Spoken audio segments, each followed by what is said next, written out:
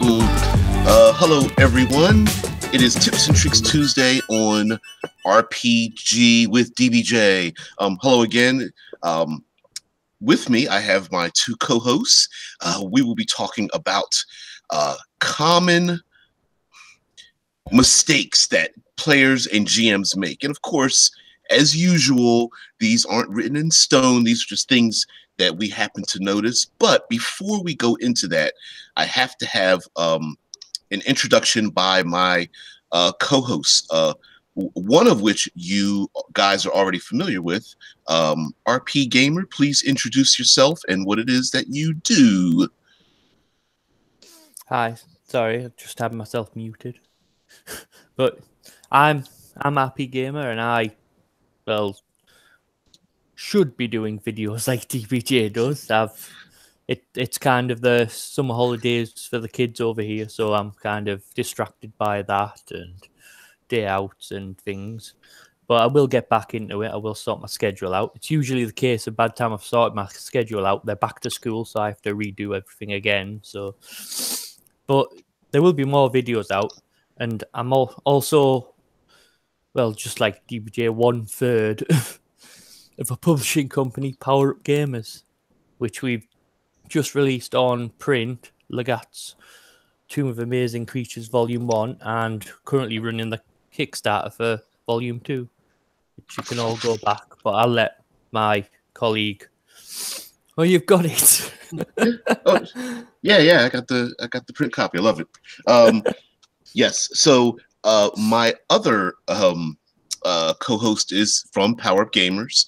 Uh, for those who don't know, uh, Power Up Gamers or, or, Pugs, I love that, just Pugs, um, is a is a place for uh, disabled players to feel safe in discussing how their disabilities affect their gaming and tabletop role playing games. And of course, I'm taking that directly from their Facebook group. So um, you will find a link to the Facebook group below in the comments when I get a chance to put it in there.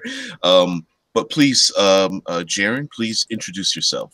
Awesome. I'm Jer- Evan in D&D, the Disabled ODM, founder of, of Power Up, Up Gamers, is the YouTube channel, the Facebook community, not now a indie publishing company.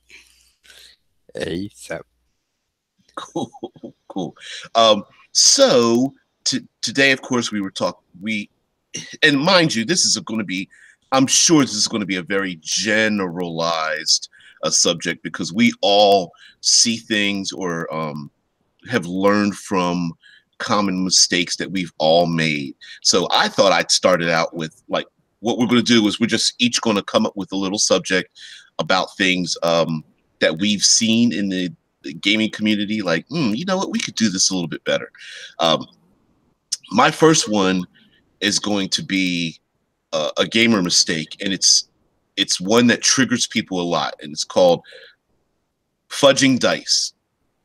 All right, um, and uh, I think the for me the biggest mistake in fudging dice is uh, lack of experience. Um, it's it's taking dice and then changing the numbers around or hiding them or ignoring them or in a, on the player side what we would consider cheating and on the gm side um, asking for rolls when you really shouldn't be doing them. So uh, for me the biggest mistake i see is is having to not having the experience or skill to do have other techniques before it gets to the point where you have to fudge dice in the first place. Um, yeah, in, in my in my experience, fud- fudging dice isn't inherently wrong because GMs can do it to make the story more exciting. To and, to make and I have seen GMs do it. Mm-hmm. Yeah, it's to make it more exciting, to make an encounter last a bit longer. Maybe maybe you put a enemy that's too low a level for the party, you've miscalculated, so you're fudging the dice a bit to make the encounter last a bit longer. But it's when they're doing it on their behalf that really that is wrong. when they're doing it so they could actively going out to kill or injure the players. Like, like you, the GM rolls the dice and, is, and the monster misses every hit, so he decides, no, my monster's going to hit every hit instead. Think, things like that. If if it's for the player's advantage and for the start for the whole experience as a whole, then it then it you could say it's kind of fine. But if it's just for like the GM out for player killing or just revenge, kind of just out for himself, it I don't think it works. It's also reverse for the players. I, for example, all in a one shot I ran, and we had uh, the guy, ba- one of the characters, basically first step in the initiative, if, and they fought what was basically a reskinned displacer beast. In seven rounds of combat, uh, he rolled the same number each time, so it would be like a 1818 because you roll twice ice on this displacer beasts because of the ability. And you take the lower of the two numbers. And the entire session, he never rolled below an 18. Hmm. Yeah. That right there told me it was a case of the player was fudging dice. Right. And I mean, of, of course, on the player side, it's like, like why bother cheating? You might as well eh, just say you keep succeeding, and then you know, I mean, it's it's kind of ridiculous in a way to to to cheat as a as a player because why bother playing the game? Like you can get the cheat codes to a, a a video game and do it, you know, play yourself by yourself or something. Um, you know, or or just be upfront with it and say, hey, I want to play a game, but I I don't ever want to be hurt. In which case, you might as well just do um, uh, storytelling. You know, like don't play the game, just just describe the actions that you say you want to succeed in and, and be done with it. Um, yeah. But to but to actually cheat is kind of silly. Um, I I think that before it gets to the point of ne- of the need to fudge dice, I think there's plenty of um, there's plenty of skills you can have so it never gets to that point and therefore you don't break the immersion. Um, like uh, like Scott Poe says in com in combat and out of combat die fudging should be considered separately. I'll i'll roll dice for for none of your business as I'm running the game. But in combat, I roll out in the open. You know, it's it, I like I said before you get to the point where you fudge dice, you you want to have some other skills. It's kind of like watching a movie and then you see like the microphone come into the screen or you see like workers walking in the background like it, it'll completely remove you out of the experience, no matter how well the actors and the action is. If you see mistakes in the background, it's and you know it's fake, um, it pulls you out. So my first, first, the first skill I think people, uh, especially GMs, should learn is um, don't ask for die rolls when they're not needed. Right? If there's no chance, if there's no drama in the success or failure, don't ask for die roll in the first place. I wouldn't uh, say that would even be the first skill, but that is an important skill. I right. I would say the very first skill comes before you even get to the gaming table. Oh, you you need to learn how to build an encounter properly. Yeah. Well, if, if your encounter isn't built properly, you're gonna run into issues when you run it.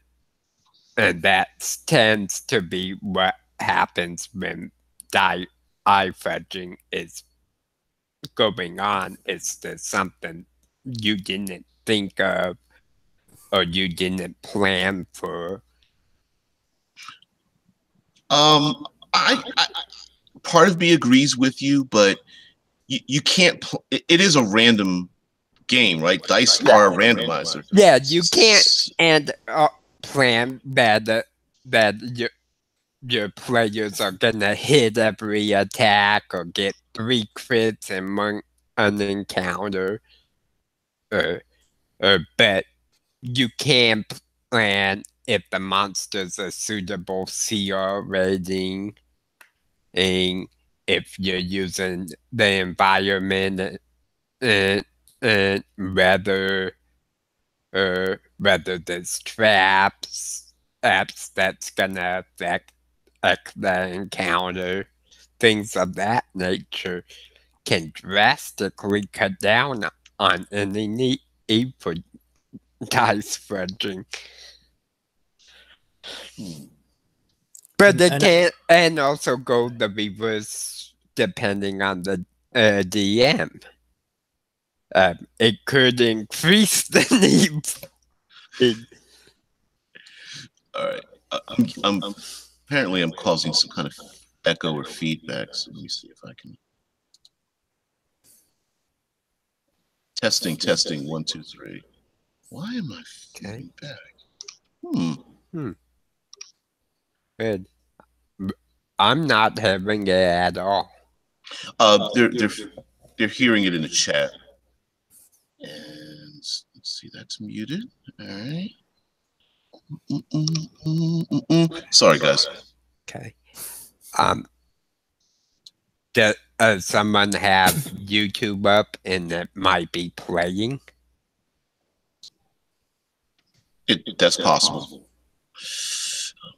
I, ha- Yeah, I have YouTube up, but it's on mute. I I just have it up for the for the chat. Yeah, I- I've I've, I've muted. Uh, my There- I there have go. uh, testing testing. I don't hear it anymore.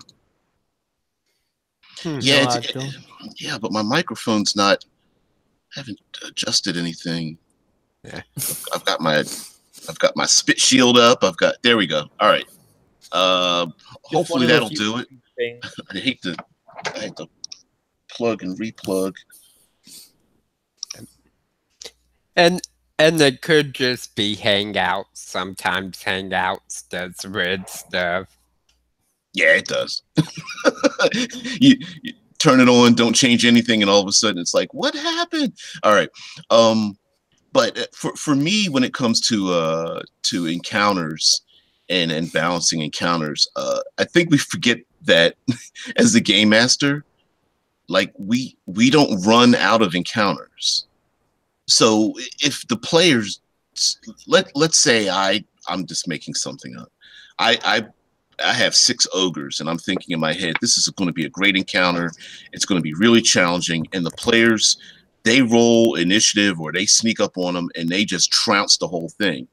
It's not like it's it's not like it's a limited resource, right? I can Oh I- yeah, uh, that one of the best tricks damages the advanced scouts.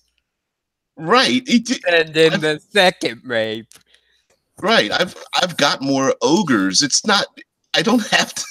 It's not like oh no, I've run out of ogres and I I'll never have any more ogres ever again. It doesn't. It, you know. So so my my opinion is if you make an encounter, um, using the narrative, you can make excuses for just about anything, right? And and so what I mean is you have your six ogres and if you if the players overhear them talking about the fact that they're um, an advanced scout or one of the ogres is by themselves and they're they're talking to themselves as he's trying to uh, figure out how to tie his shoelaces or something and and he's he's talking about um, I don't know the the great you know dark mother in the woods that he's you know in league with or something or the players come across um, evidence that the ogres have uh, made these other raids, and one of them has like a pet, I don't know, dire wolf or warg or something, and there's evidence that there's uh, other enemies in the in the woods. You can come up with all kinds of things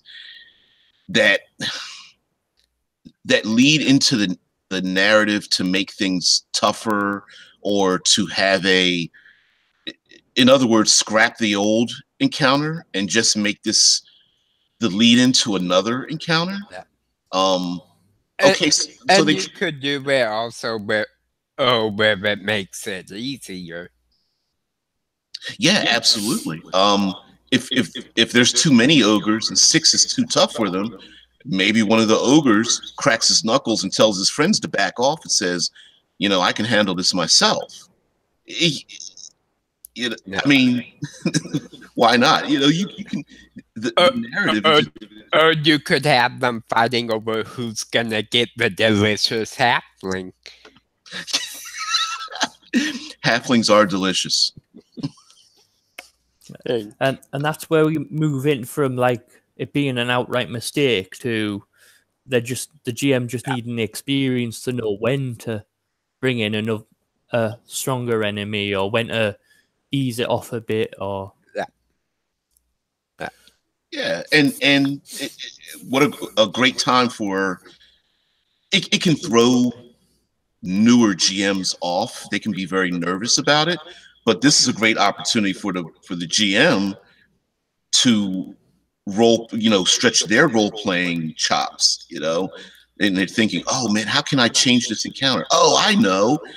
The the, the two ogres are fighting over eating the, the halfling one one ogre is, is stirring the, the pot that he's going to you know boil the halfling in and he's just trying to get the right seasonings you know one ogre just wants to wrestle someone i, mean you could play you could have really a, a great time playing with it and um making the encounter tougher or easier by just role playing Yeah. What, what I think Yeah. it comes down to is that inexperienced GMs, the kind of panic if they see the encounter going too easy or too hard, they panic. So that's when they begin to fudge dice and And- things.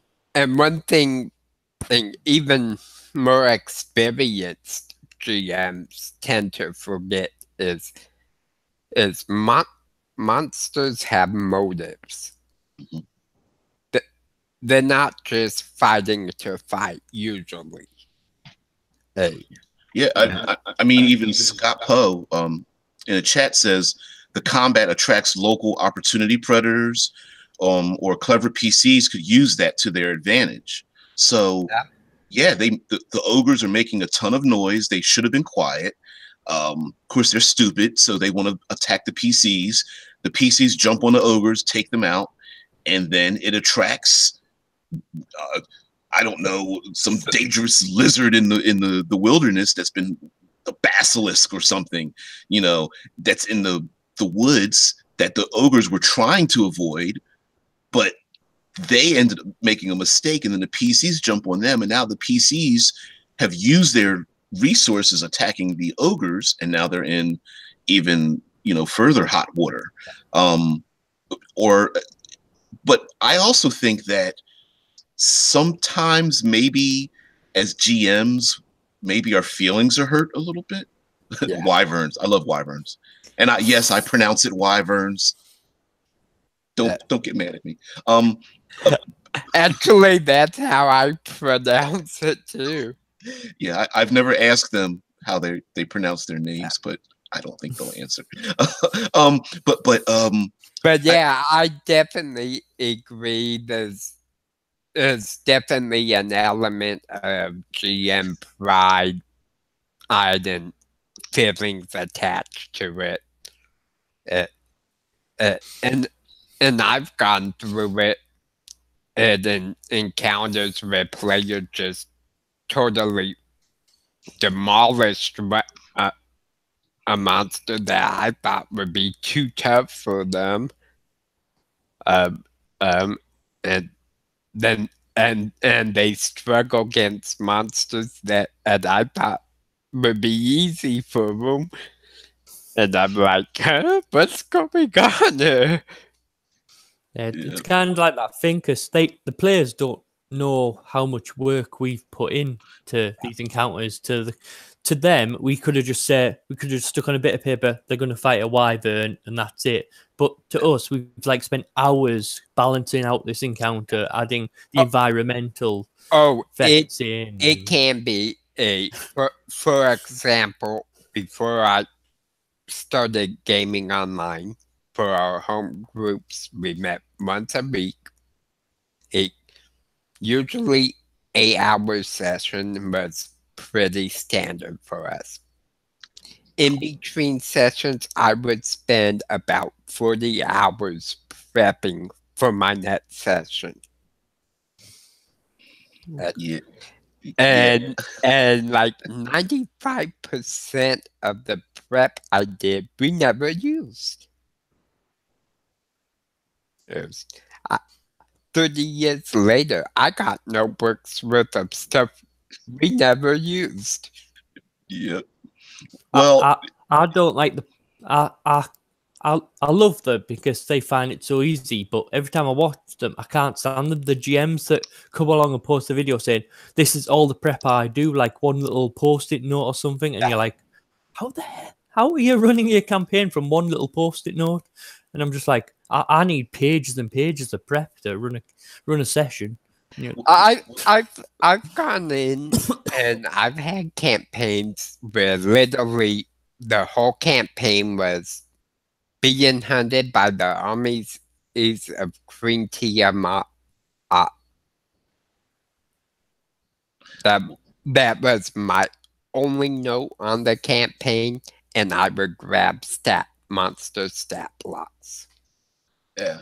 Well, I I often um I've made the argument to uh, other people that that say like um that some people prep heavy, some people prep light, and how do people prep light? And it, it's it's it's not that they're prepping light, is that they've been prepping for years. The the note card is just a little um a small indication of the prep they've been doing their whole gaming life. Yeah. Right. Mm. So so you could just write a few notes down, like you said, being hunted by the forces of Tiamat, and then maybe two a couple more notes. Uh they're in the mountains and um there are advanced scouts. And then that's it. That's all your prep notes. But really, those prep notes are actually going into your mind Yeah. from things that you've been prepping for months or years or tens of years of 16 different encounters you've had in your head that you've never used or Oh, definitely. or you've used and you've reskinned or one of your favorite TV shows or a movie Yeah. or a book you've read. Or, and- gi- or a gimmick or a trope. Yep. part, part, part of me thinks it's just G- GMs like one one up each other and show off, saying, "Look, this is all I need to be able to run a campaign. I can't believe Yeah. you need a book book for your campaign." Right. I I do think we that love doing that.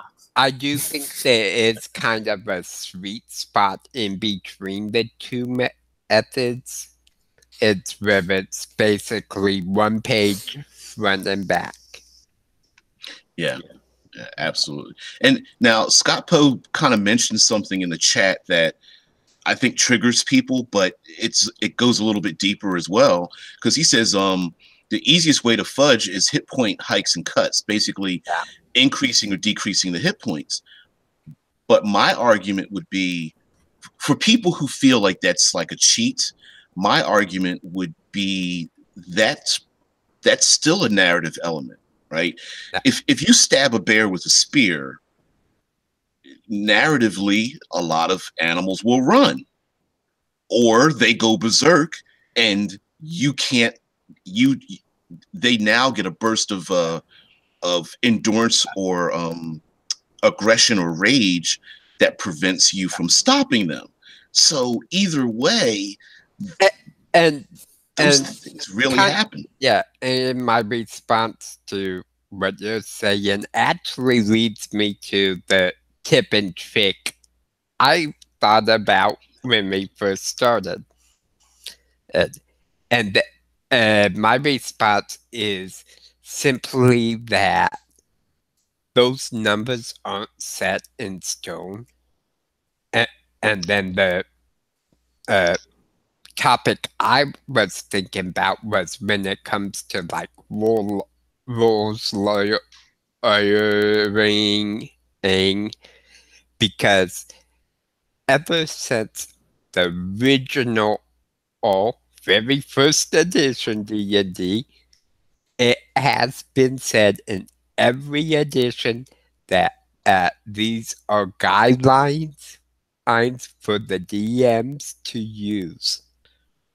It's, it, there's nothing saying, and we have to enforce any certain rule, use any certain mechanic. Like it's we just tend to because people tend to know of the system as a whole.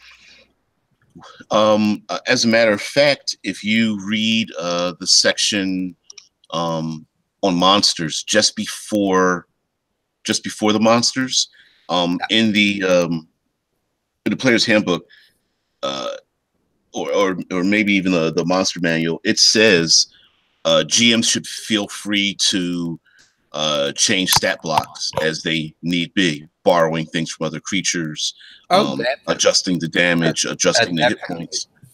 I mean, it, it, it's in print. Like, I'm not saying that they suggested. I'm saying like it's literally a. If you want to be a rules lawyer, the rules in the book say you can adjust things. So, the, the issue would be to be consistent, though. Exactly. And that's where it kind of gets a bit tricky when you uh, want to change things from what people know. Oh, unless uh, unless you're gonna do something the same way, like crits always work this way. Um, Scott Poe says something in, the- in the chat. I'll read his uh, comment, but uh, something that I've always uh, lived by, and I'm a movie fiend. I'm a movie fanatic too. But he says, um, by the way, that's usually in the PC's favor, especially if it's more dramatic um, that they finish it, meaning like Oh yeah. um, adjusting the hit points. Um, and he says, a Self um, Skurkowski, I think is his name, who's been around for a long time, uh, says, kill your darlings. So I don't mind my monsters dying. I approve of superior tactics. Um, if the players, some sometimes we as GMs are so attached to our encounter, we ignore the fact that the players came up with a great idea. If if if they come up with a with a great idea and it and the idea doesn't have a rule for it, I usually err in favor of the great idea, the great planning. Like, um, I I remember telling the story of uh, first level players. They killed like six harpies, and uh, this was like first. It, I think it was second edition, um, uh, Advanced Dungeons and Dragons, right? And I specifically wanted these these harpies were actually quite dangerous then, and oh yeah. I wanted these first level players to run into the castle. They would adventure in the castle, and when they got out of the castle, they'd be powerful enough to kill the harpies and go home. It, it was a short adventure, but it was it was like go inside, get the treasure, get some magic items, come back out, kill the harpies, be heroes. So that was in my head. They decide to trap the harpies in like a double gated portcullis and set them on fire. And I was like, what? And, and my, so the, my first reaction was, damn it, what, this is my encounter. You're not allowed to do this. You're not allowed to be smart. And, and, and I quickly, so I sucked it up and um, didn't let it show. And I was just like, wow, that's a great idea. Like, you know, one of the players was like inside the the portcullis and the other two were on the outside and they cut the ropes and it was this whole big thing. And I was like, I can't kill this idea. I can't do it. I mean, because in my head, like, that's sweet. Like, you know, but I kept a stone face and I, and I let it go. And the, the adventure went on. And, and mind you, that was supposed to be my tough encounter. The, the interior of the castle, because I wanted to flip it. I didn't want them going into the castle and fight the bad guy at the end in in the room i kind of wanted to flip it and say okay here's your bad guys run for it so they they did that and then on the fly i had to change my adventure um i made some kind of bad guy that where the harpies were his like uh underlings or something. It was this big thing. Anyway, the point was it screwed up the whole thing, and we had great time. It was a it was an excellent time, and that was when I said, you know what, these rules, there's no rule for this. I just wiped my hands of the whole thing, and I, I was maybe I don't know 14 or 13 or something. So. And, and I still remember that because because they wanted to know how I did it because they knew it wasn't in the rules. They specifically knew it wasn't, but they just wanted to have fun, and I was like, screw that, whatever. I, you, they're they're in a cage. What am I going to do? Roll for damage? What doesn't matter. It doesn't matter. I won. I definitely always tend to go with the cool idea uh, uh, over rules. Or, however, I do try to keep at least the appearance of rules. rules. Yeah, you, you need to always have that appearance of you know what you're doing. You you plan for them to do this. Yes. That's for for a, for a good ex, ex, example. Oh, one of my favorite scenes in in one of my sessions, and they they're going into basically this evil temple for, for a necrotic cult. They're killing cultists left and right. And and I had kind of planned it that way, A, because they're like sixth level, 14th level necromancers, the leader of the cult. Oh, oh. Oh, so they think. think. They get to the necromancer, and it's this big thing, and there's blood dripping from the ceiling, and and necrotic blood is nasty in my eye setting. A if you ingest it, you have three bounds ounce before you become a ghoul. Uh, so they're having to fight on these rocks that are slick. There's poor necrotic bloods all around them. They got this high level necromancer just messing them up. up. And and the whole whole time they're meant to run. And and I kind of stress that uh, throughout the session as they approach. Oh, they hit edges, these multiple or, or screams, and they see the as necromancer just killing like six men and not even blinking. And they decide not to run. I'm like, okay, TPK. There's no way around it. Uh, uh, but I did something clever with a twist because I didn't want to end the campaign. And at that point, because we were just starting the campaign, it was like the first quest out, out, out of the city. A, I had the necromancer uh, open up a portal or, to hell right beneath them.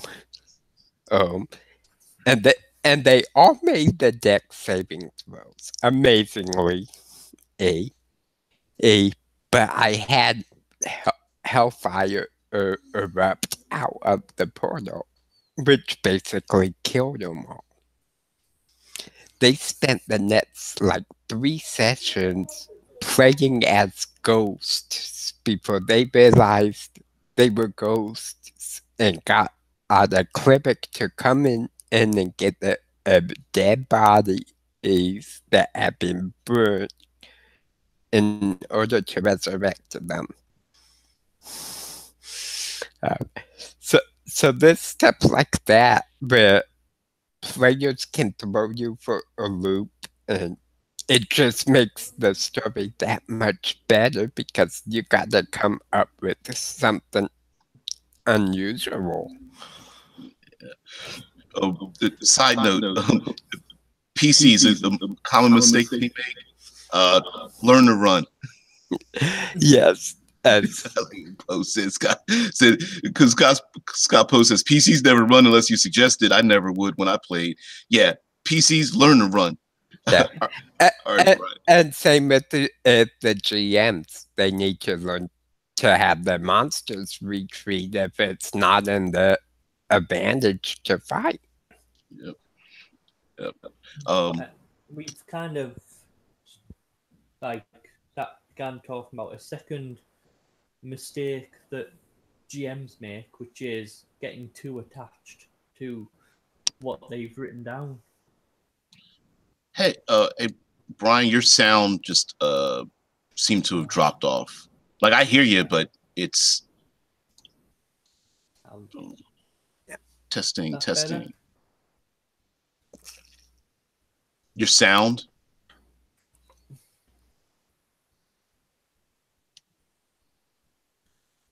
Yeah, it, Yeah, I think we've lost them a little bit. yeah. It seemed like the volume dropped. Or Yeah, it's it's, it's Hangouts. Uh, but yeah, it's definitely a for me. It's very much a negative th- thing, and it's kind of a GM call on what makes makes a better story. Hey, hey, and that's always kind of I tend to ever uh, in favor of the better story.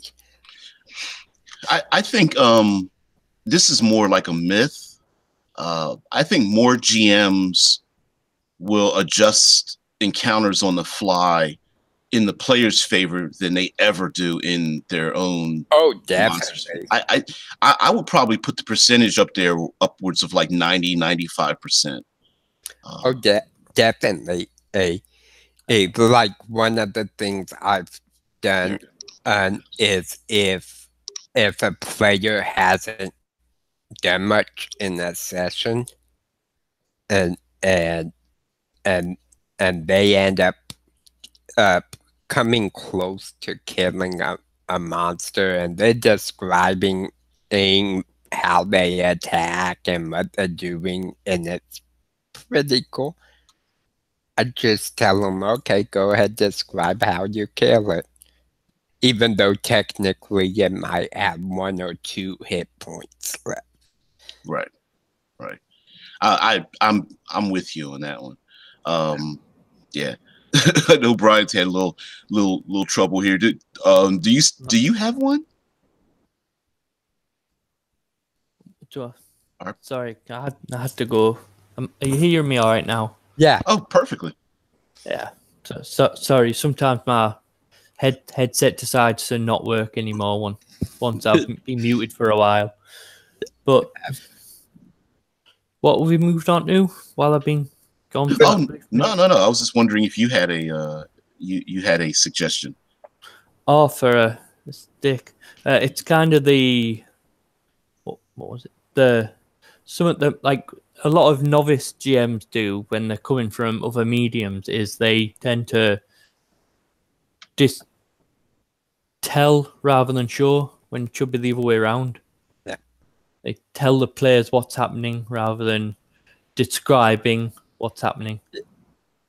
yeah. Um, that's a mistake I've even seen the most advanced and GMs make. For example, you're fighting two goblins. Every one of us knows what a goblin is. Is instead of you're fighting the a small hunched over green skinned figure uh, who's just snarling at you. Yeah, I I, I absolutely agree with that. I, I think, and I, I like like you said, um, a ton of advanced players do that, and I think it Yeah. it it is where um, the idea that encounters become uh, boring and uh, people tend to if, if you describe things kind of in a meta way it takes away the uh, the impact of what it is Yeah, and it, it tends to make it a bit boring and tedious. mhm. I, I- I mean, the players themselves know what all these monsters are because they probably all look through the monster manual and that. But but the characters they're playing might not have seen a goblin before, might not have seen, might not have even seen a halfling or a elf before. Yeah, and that's where one of the reasons you use the narrative and the description of the creature because like I said there, it could could have been a goblin, it could have been a hunched over lizard man. And there's probably four or five different things it could have been. And from that description, and and even with the description um sometimes we want to uh especially as ad, ad, advanced uh game masters like we want to um we want to dump a lot of information on people Yeah. so we stop all the action and basically get frustrated that the players haven't read our you know seven page world setting guide. And then we just want to stop all the action and and explain to them what the city is like or explain to them what the wilderness is like or explain to them the history. Uh, It, and they and it goes in reverse also for players with, for example, with backstories. Is is I've I've had players who literally will write a book for their backstory.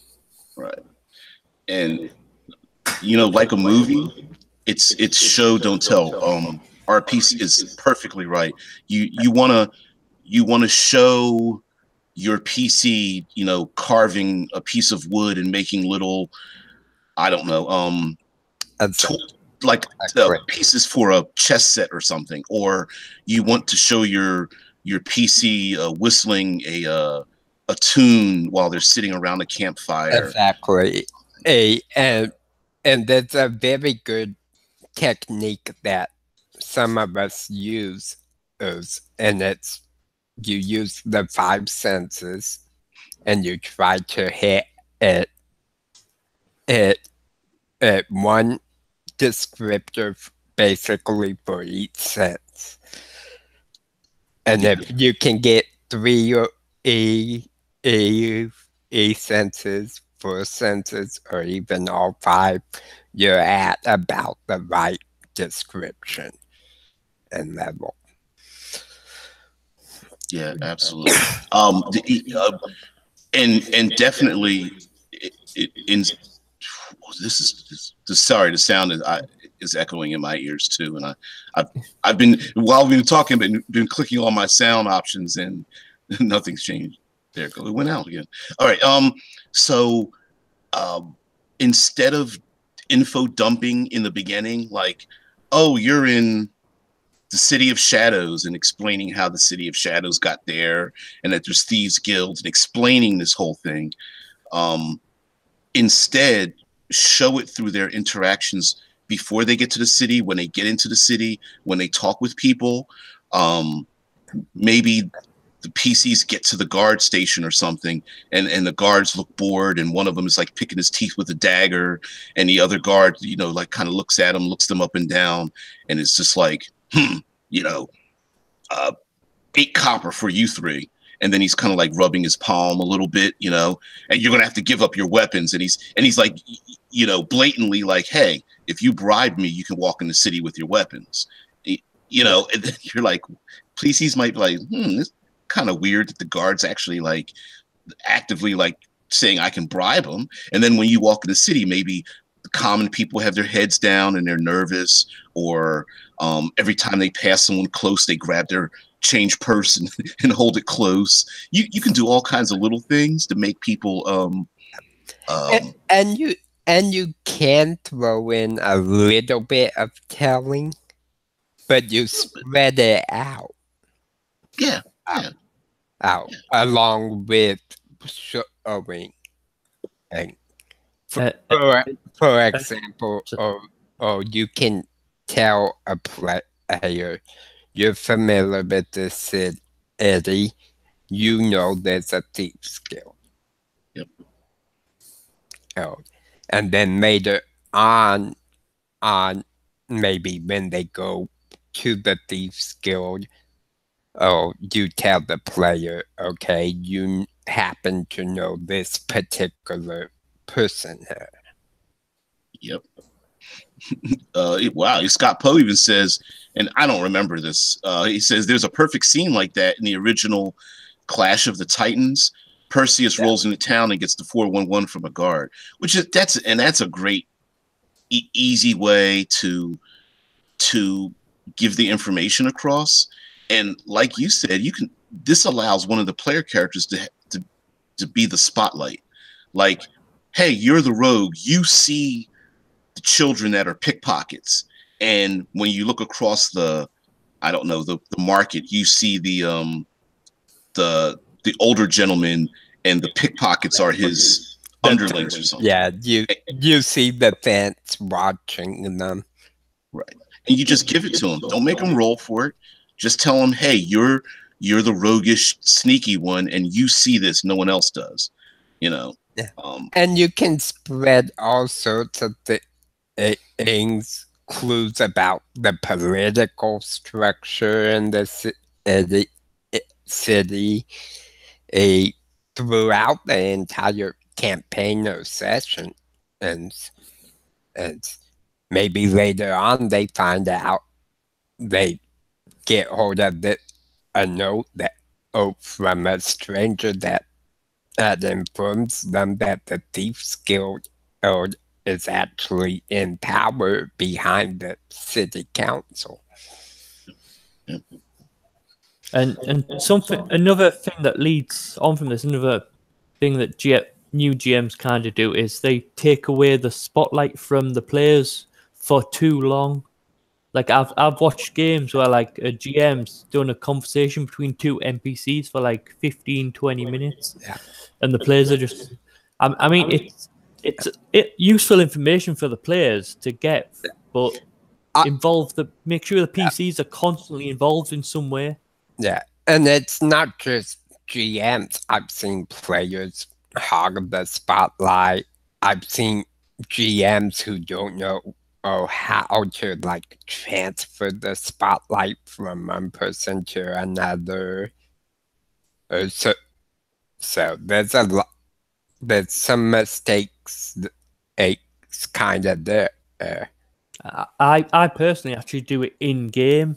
If if a player hasn't spoke for a while, I'll have an NPC turn to them and question them. yeah, Yeah.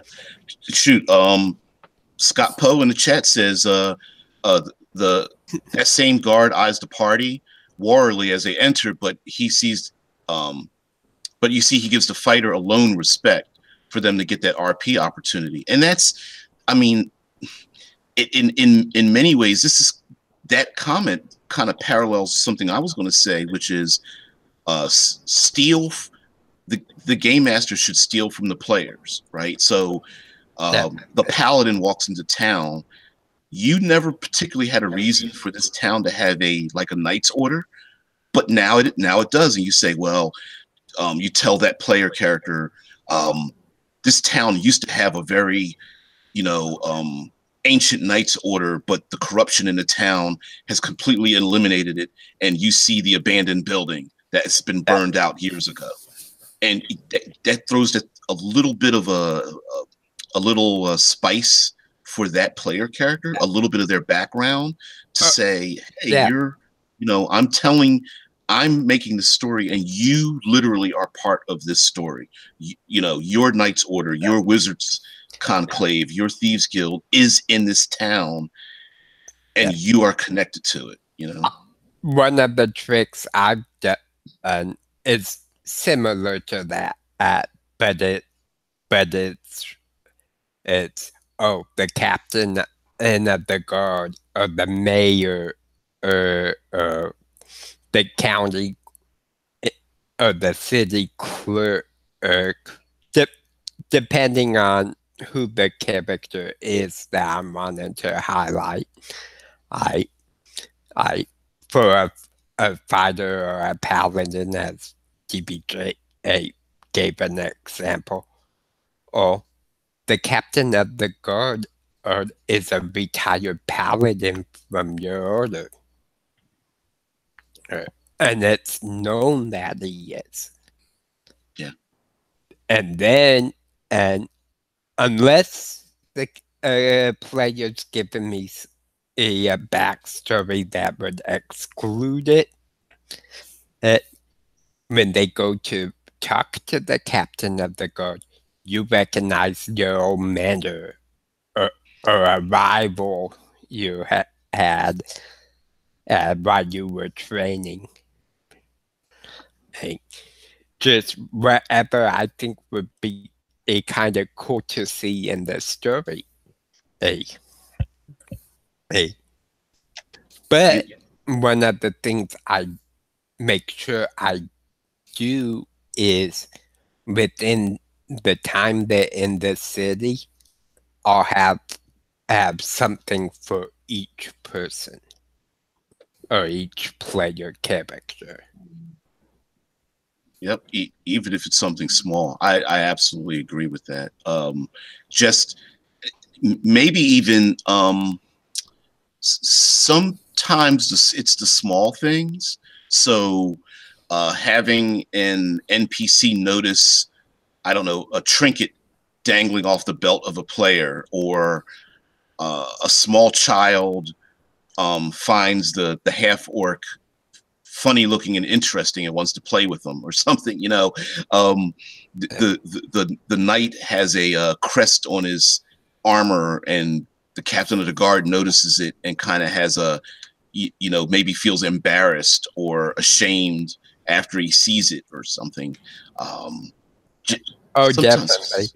And and for new uber dms um, a little trick using children is perfect ick because they don't care. They'll say the damnest things. And, and they'll go right up to a, a barbarian and, and what's those markings?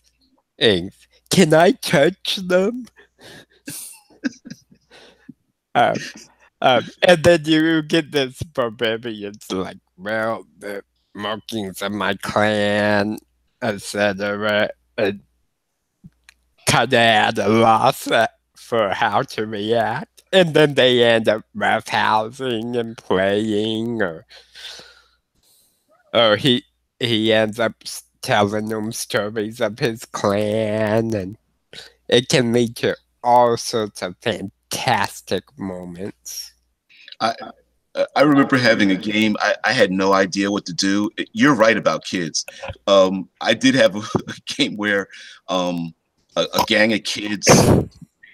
I mean, they were essentially pickpockets and such, but the gang of kids come around the, the PCs and they become like fans of the PCs. Like, oh, you have a sword and you're adventurers, and they want to hear these stories and stuff.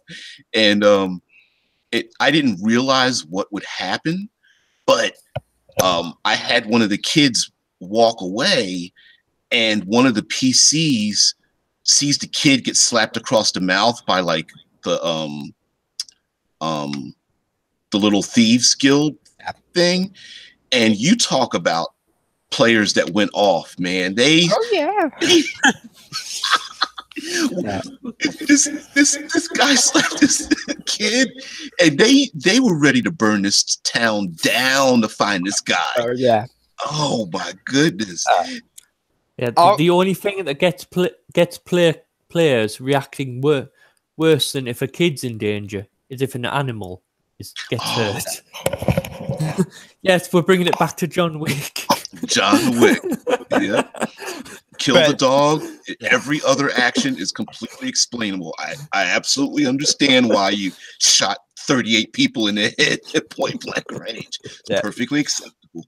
But uh, I'll, I'll, I'll share a, a particular example where I used a child iode, iode, or iode, and the effect that it had was every player, including the DM, was in tears as by the end of the scene.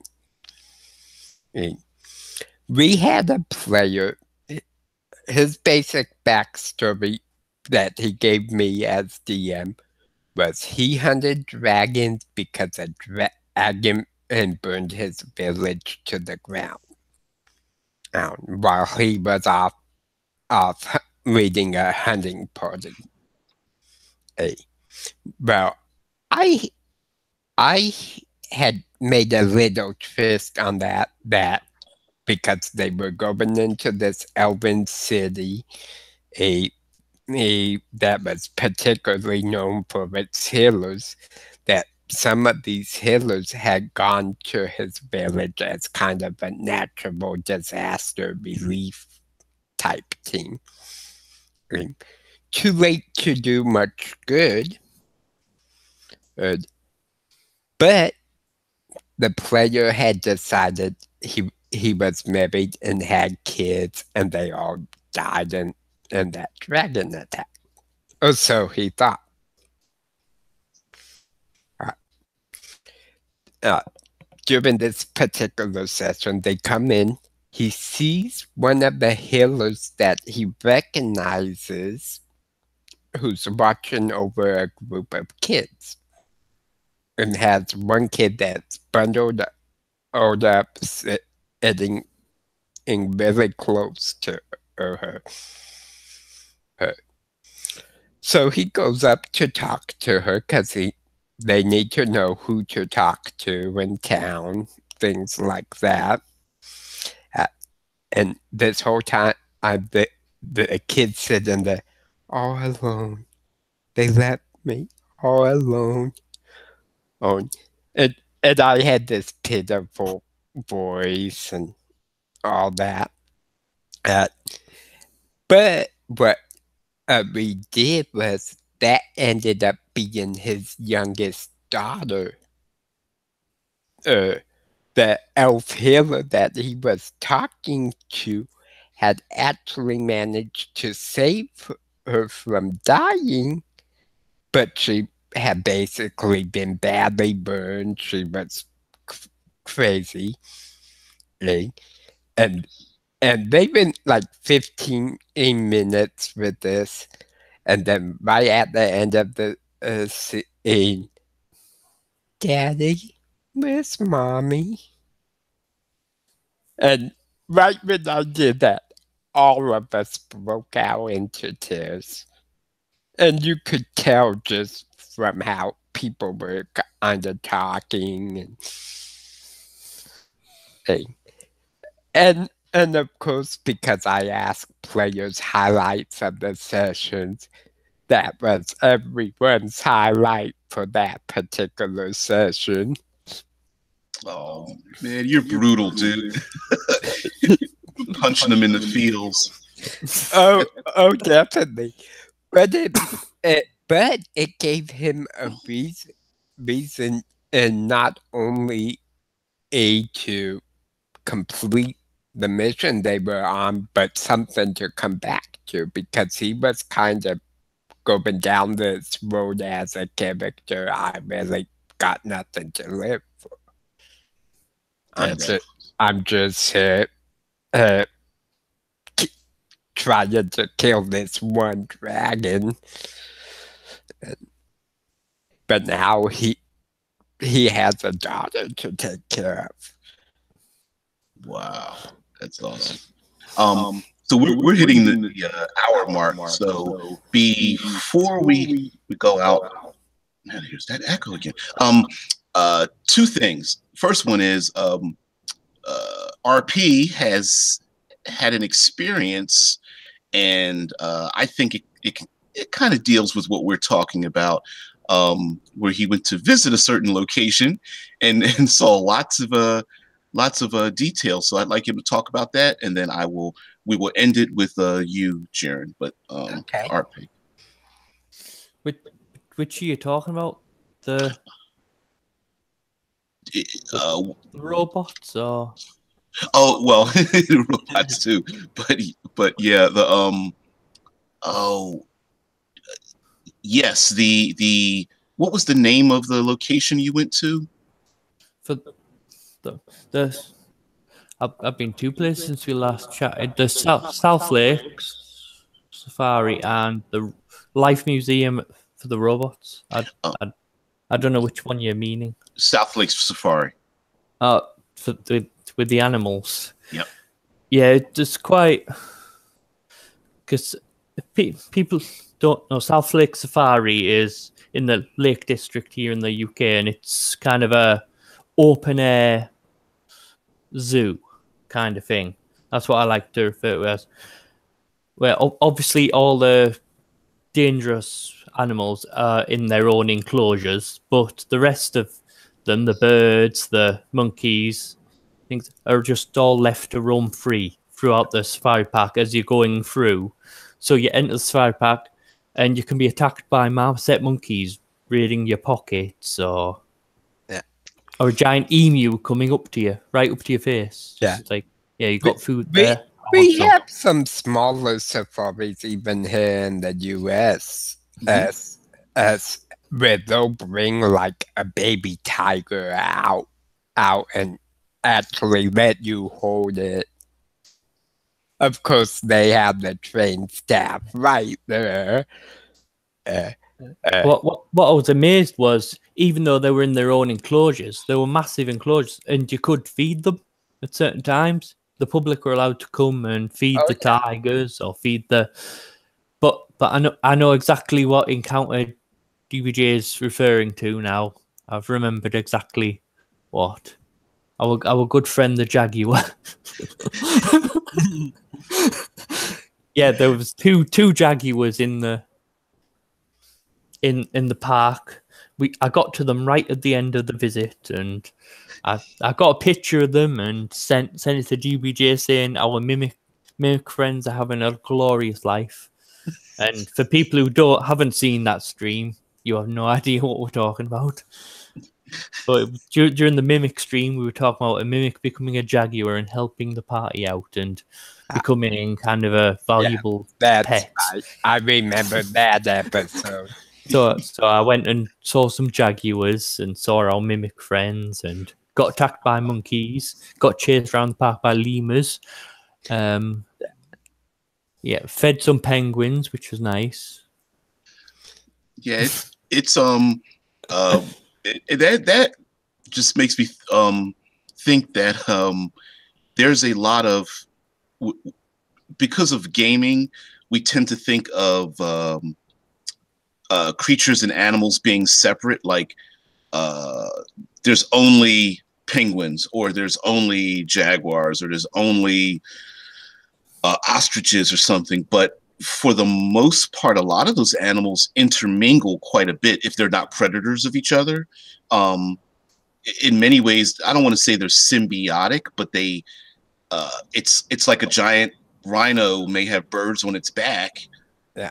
Because the rhino may be digging in the foliage and trees and rubbing against, you know, uh, the brush, and then the birds eat the bugs and ticks that may try to ride on its back, and Uh, and the worms that the rhino has uncovered in the in the muck or whatever. Oh, y- oh A, yeah, a, that- good, a good example I've, I've got from my from my visit to South Lakes is one that you wouldn't expect. It's not like one you find in the wild with a symbiotic relationship.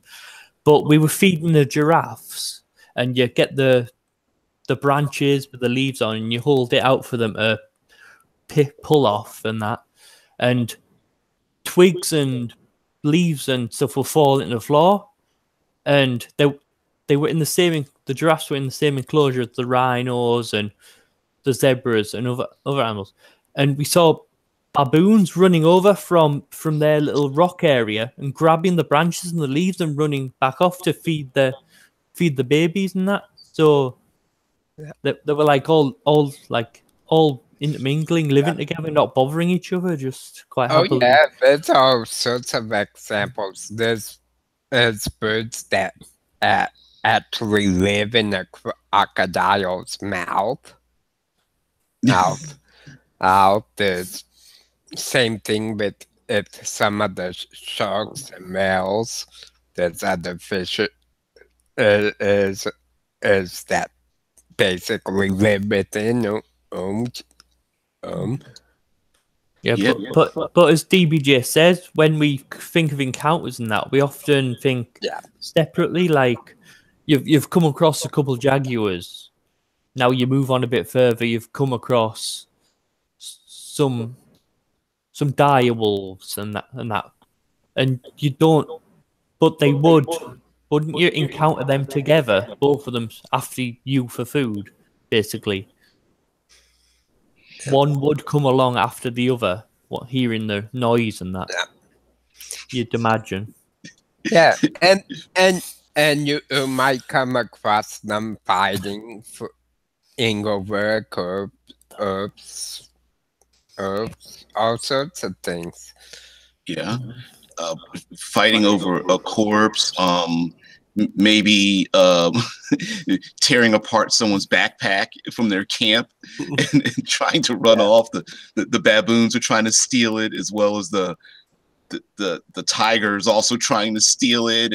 And, Ah, then, I've know, got a I've got another funny story from South Lakes because we we went into the restaurant to have some food because obviously you can't take food round the park with you because they they need they they get their specific feeding times and that and they'll just nick your food and stuff. And as we were having food, we heard ruckus coming from the gift shop just next to the restaurant. And what what we found out was the the shopkeepers have to have water pistols because the lemurs come into the gift shop and run off with the packets of like Maltesers and things like that, run off with their sweets and things, and you're just like, yeah. Oh yeah. alright. um, one of that uh, kind of reminds me of when I was younger. We made the mistake of going to Kentucky Fried Chicken and taking it out on the beach at the ocean. Little hint: seagulls love chicken. Oh, sea- seagulls love anything, any food you've got.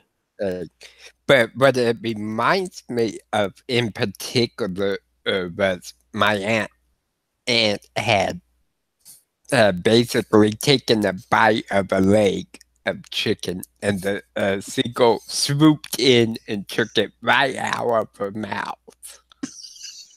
Um, and there was just this hilarious thing, eh, but it's like like normally animals don't get that close to humans.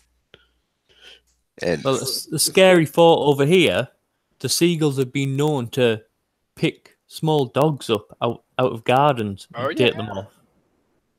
Which which we kind of which as if you've watched regularly you've seen a couple of mine appear on the on the screen. They we we do fear when the seagulls are around in the back in our garden uh, and, they're running around. We do I can, watch on them. I can imagine that, like we have a Yorkie poo weighs maybe two pounds. It's just a itty bitty thing. So I I could see a a, a seagull or or just swooping in and carrying. Yeah, wow, wow, that's it. It, it it's a shame because it's not funny, but just just imagine little small dogs just being carried off. Oh, we the we sky. we we've laughed about it many times, say, saying it w- wouldn't be long before the seagull brought them back. Uh, but it, but what's nice is even though we're laughing and joking and telling these real life stories, you could use that right in an RPG. A, a, oh, this giant roc swoops down, out and, and picks up your favorite mount. or, or even picked up the player character. Yeah, Yeah, or even easy. Oh, oh, and you just leave the rest of the player characters. It's like just describe it. You you see them going in, disappearing into the distance. Yeah, and and then it becomes case of how are you gonna escape? Your party ha- has to figure out how they're gonna rescue you. Especially if the roc's taking the PC back for food for its nest. Yeah. for. Uh, and it Yep. just it's just amazing how much inspiration there is out in the uh, world, just on places you go, events that occur. Uh, that that strange person at the bus stop that you normally wouldn't uh, talk to because they're a little bit touched in the head, to put it nicely. But if you pay attention to them, oh, wouldn't that make a, a perfect crazy prophet hermit type dude? Mhm.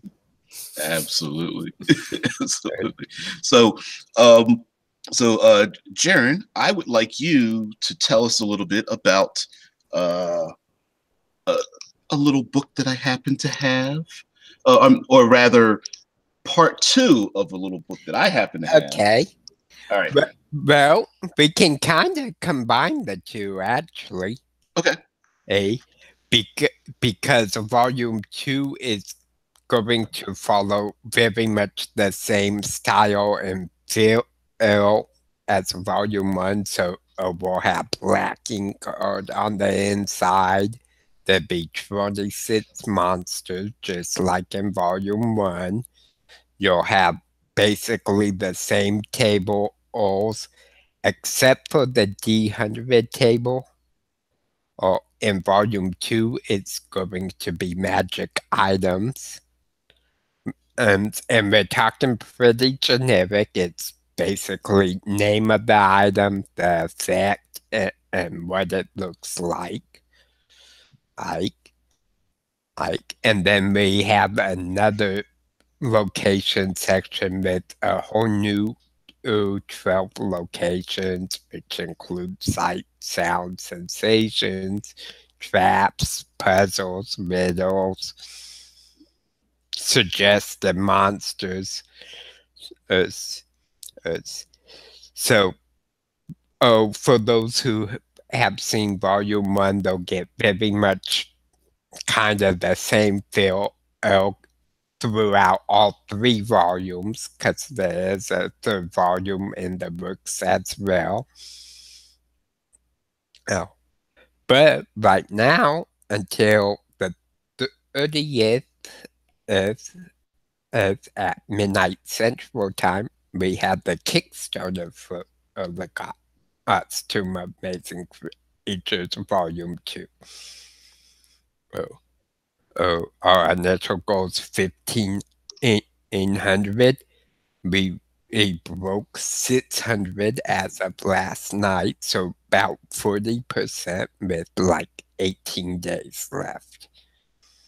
That's- that's- So, so I'm gonna put I'm gonna get that information too and put it in the in the details below to the to the Kickstarter if anybody wants to check it out uh and the link to the first book um on DriveThruRPG because I, I love myself some some physical books. I like to touch them and, and feel them so.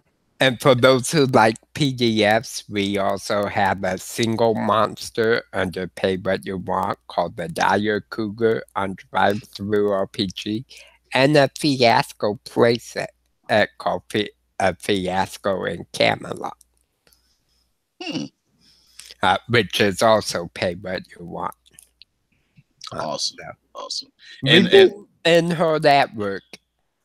and I'm glad that uh that uh RP and Darius because those are their YouTube channels I'm glad they got a chance to to uh join in with you sir Yes, it's been a pleasure having them, um, and it's ab- about time I've, I've been trying to piece together a little group to work with for over a year now. And these are the first two that are consistent that I can actually work with. And and something that may be coming up soon is is another pay what you want product. We started working on it last night, in fact, called the Durfan, which is basically a Chinese style sea serpent cross Cthulhu type dragon. and, and, and so I, I was showing them kind of the process of how how monsters are created and, and by the DMG and Jeremy Crawford has a blog article out that, that explains some of the mathematics it's, it's behind how they do things. So we were kind of running through those methods as part of our writing time and came up with something that is about half done at the moment. So that might be coming out here really soon. That's awesome. Um, um, if I could make, a, make a, little suggestion, um, sure. Long, it's funny.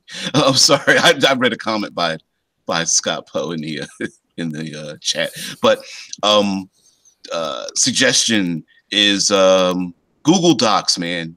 Sharing Google Docs, like if you, you learn or or or an appropriate uh, process thereof. Oh yeah, I'll I'll absolutely give you the links, um, Scott, and for everybody. I have not put them in the comment section yet. Not comments. Um, body the description. Of, yeah, whatever it is, the dungeon um yeah. below the video. the yes, video dungeon. yeah. So I definitely will do that, so you guys can check that out. Um, absolutely. Uh, you know, of course, do your homework. But when it comes to um small small press publishing and working with people, um, Google. come up with a method to share. To, to share information, documents, and stuff. Google. And I'm going to go back to a comment that Scott Poe said about uh, and this is a a movie term is killing your darlings, right? Um, come up with your best ideas. Be willing to destroy every single one of them. Yeah. Um, so maybe right now your idea may not be the best for whatever this is. Okay, fine. Put it to the side, save it, put it in some notes, put it in your own document, save it for later. But maybe for right now, Scott posts the doobly doo. Yeah. Matt Colville's doobly doo. so uh, yeah, man, just I'll, uh, I'll get I'll give an example of this. Is for Power Up Gamers under our project folder, we we have I think it's 14 different documents right now our image we just post quick ideas on whatever. Like for example, one's an underwater adventure kit. Similar to Oath of the Frozen King because that's where the idea of adventure kits kind of came from. So we want to follow kind of the template they use, but we want to make an un underwater adventure. So anytime one of us has an idea of something that would be cool for it, we go into that doc and lay out our idea. Uh, uh, you, you'll be surprised how much work you can get done if each person just, I don't know, uh, one paragraph or a hundred words or a little idea. You can with like with Google Docs, you can even change the color, so you can even like I'll I'll use red and go, I'll just put in uh, needs, you know, needs flavor text or um, like I might not have the idea formed in my head and I'll type in this creature lives in sandy area, you know, uh, guys really could use help or something. Just little, little things in there, and just having people just be able to come in randomly, um, pick apart. Sometimes um, uh, you you get sparked with an idea. You can just go into the document, type a couple of lines, get on out of the document, and basically just saying, "Hey, look, I've got an idea. Um, it's a great idea. It's awesome. Let's put it in there." But at the same time, being able to say, "You know what? Nah, it doesn't fit. Yeah, yeah let's let's get it. Let's get rid of it uh, and use it for um, something else." That that that's that's um what we where we came up with the method was um Tim Kearney's bucket method, mm-hmm. and, in which he talks about writing down ideas like a drop of water in a bucket, and then they'll come back to them. And and the reason for it was because as we're writing uh, on a project with a deadline, what tends to happen is we start thinking about everything but what we need to be a focused on. So it's a quick method. We can hop over to document, drop something down, then and come right back to what we're supposed to be doing. Yeah, it's it's uh, it's it's it's learning that skill that, um, like you guys, like we we are all easy, easily distracted. You know, a squirrel. You know. and, and, uh, and, and taking that energy and taking the distraction and using the distraction to to be creative. Um, hey, DBJ, is that a new brain Oh wow, guys! Yeah, listen. Oh what? No, squirrel.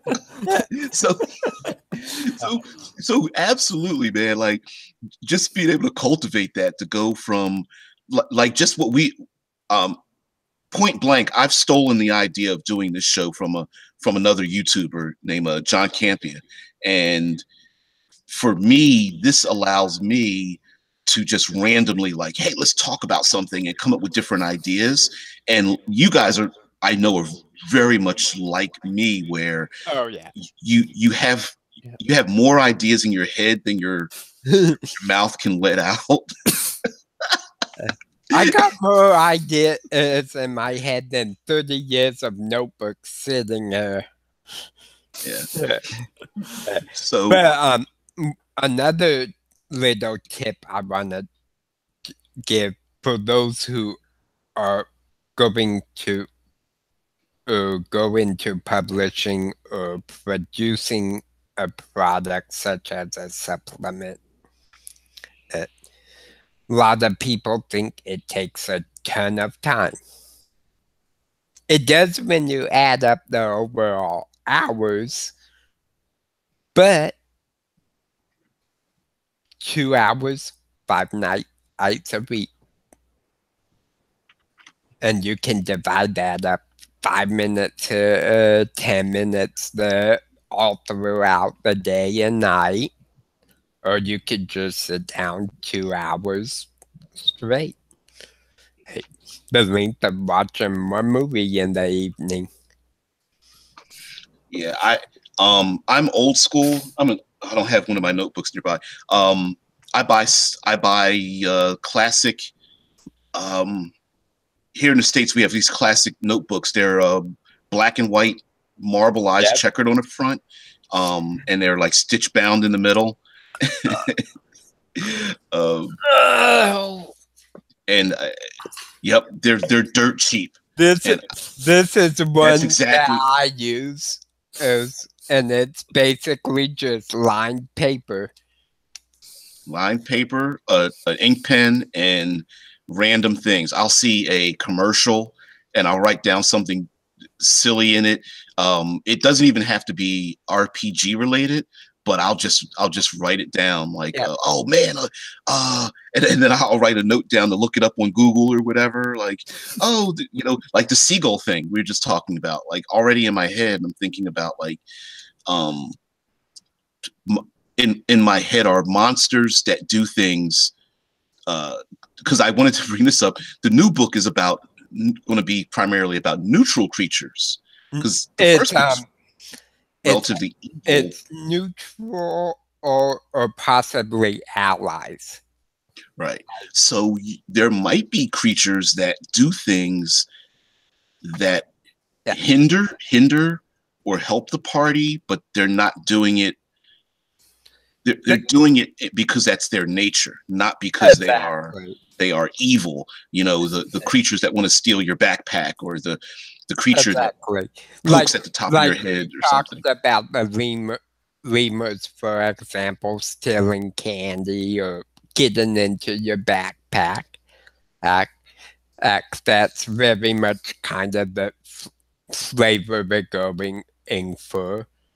Uh, um, we have a lot of good uh, race called the Octona, uh, which is basically samurai octopus. It's, it's, and they and they basically got the powers of Aquaman. And the de- defenders of the deep, they can summon animals that dwell in the seas. It's but they're the samurai like style race. Yeah. That's awesome. Unfortunately, I can't take any credit for any of these. so- Is so, so Unfortunately, and that that one was actually one one of my players had gave me as a joke because I because I was, was spitballing during one of our breaks some concept monster concepts ups and making little notes because my mind was thinking and like it does. Yeah. But yeah, I constantly have a notebook by me, so throughout the day. you, I'll- you two are definitely the last of the old guard. I, I, I just use my phone for my notes. Yeah, yeah. I you, I you do that too. realize Google Docs is on this, don't you? You do Yeah. realize I, you I, have well, that thing is, is until about we don't use paper anymore. You, you two, are the, you two are the ones killing the trees. until about a, a- a month ago, I didn't have a cell phone that had internet. uh, uh, Uh, okay. I'm not that old, man. I, I had a cell phone, but it was the old track phones that had no internet access. Uh, uh, so, so now, don't, don't knock, don't Yeah. knock it, DBJ. They're coming back into fashion, the old Nokias and that. so, so now I use, I use whatever's at hand, my phone, computer. But I always have a notebook, and part of that is just because growing up, we we were forced to write things things in notebooks because get, Yes. kind of given me my age age we didn't have home computers but when i if i hit like eight or nine years old it wasn't until we were like a teenager that home computers started becoming a thing Yeah. Hey, So it's yeah. Scott posts as OneNote and physical notes. Um, Yeah. yeah. OneNote. I know some people swear by OneNote. Um, OneNote's a good program. Yeah. Um, Google Docs. I know Microsoft has. There's a Yeah, Microsoft Word, there's Notepad, there, there's all sorts of programs. I know, I know they have their OneDrive where you can use Word and that online now. So yes, yes. The, the one difference that I've noticed, though, between writing it out on paper and typing in, into something is I tend to remember what I wrote on paper better than what I've typed out. I'm I'm the same way. Um, And I think that's just because of our age. That's how we learned when we were young. Yeah. So it sticks with us more. So, all right, guys, I'm I'm I'm holding everyone, including Scott, out there because it's I know it's hell of early for you for you guys. So, um, uh, here in the states, so I'm going to um to end the chat and the, uh, the live stream now. Um, I want to thank my co-hosts. Uh, you you guys aren't in you, you guys aren't interviewees that I'm inviting on. You guys are just helping me out plenty of times. So I really, really love it. Um, Oh, but, it's always been fun when we've gotten to hang out and chat. Yeah. so um, as as usual, I have an open um, an open door if you guys want to come on in. Um, uh, RP's always giving me great ideas. Uh, we've got some coming up um, uh, pretty shortly, and and let's see. Like we've got Vince coming in. He's going to come in tomorrow. Uh, we're probably going to do something on um on Friday as well. So yes, I I have an open uh open door. What is it? The other yesterday I had um um uh. Uh, Nate Naftali, he uh, in Infinite Roleplay. Yeah. he he jumped in on the um on the using good creatures, and we went through the whole like lawful and good alignment thing. That that thing went on for like two hours Yeah. Oh, I crazy long, crazy. But but again, um, you guys already know the rule, man. As long as we keep it positive and uh and keep the ideas flowing, it's cool. So Uh, Oh, definitely pleasure. And anytime I'm up all night working, it's a good way to uh, kind of wind down before I go to bed. all right, and um, I hope you don't burn yourself out. You guys, um, definitely with the Kickstarter going on, um. You, you got to come back. Just do a little, Yeah. do a, do another push if you want to. Um, Oh. any new details or any Oh, changes? Definitely and they keep you up up in the loop. Open. We actually do have a press release. It's Oh. now that we're sending out, out, out, and we do t- kind of keep it up to date with it, a percentage of the initial fund and how many days are left, kind of deal. So. That's awesome, dude. Um, and and uh, and uh, on on behalf of the uh, as I speak for the greater uh, RPG community, um, I, I appreciate the fact, man, that you put yourself out there um, with uh, with uh, Pugs Power Up Gamers to um, have a place for uh, people to game that have uh, disabilities and stuff, man. Because I can't imagine, I Yeah. I just can't imagine the hassle that you go through. Oh, there's been a lot uh, uh, throughout years. As um, what originally started it wasn't just my own disabilities, but it was my biological father who's paralyzed with multiple sclerosis. So he's in a wheelchair full time. And I sent him down to a local gaming store or to pick up something or other for me. I don't even remember what it was. But he literally could not get in the door to the store. He had to wait outside on the sidewalk till one of the employees noticed him like two hours later uh, uh, uh, just to buy I whatever it was I wanted. And, and I'm like, that's not right. Yes, I know they're smaller uh, gaming store, but they could take out one table because they had six tables uh, right up front when you walked in for uh, where they would do the little Magic the Gathering, where people would play D and D, things like that, and then they had counters and shelves in the. Back. Back.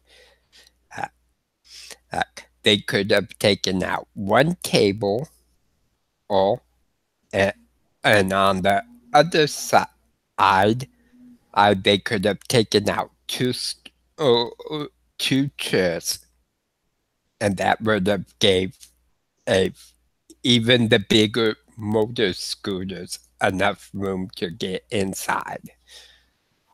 Wow. I'd, so something as simple as that little consideration uh, can be a big thing. But Power Up Gamers itself is actually for everyone regardless of race, special needs, age, political views, sexual orientation, religion. Not, it's it's kind of the concept. None of those things should matter, uh, uh, as a player or a GM. If it's brought up, it should be brought up in game as something relating to the setting. That's awesome. Um, which this is, uh, I've already got another idea for something. So you should just spark the, so it, will be a subject for another video. So write, you'll have write it down. Got to write it down in my notebook, sir. Not, not my Google Doc. yeah. Yeah, uh, and yeah, definitely game related. So yeah.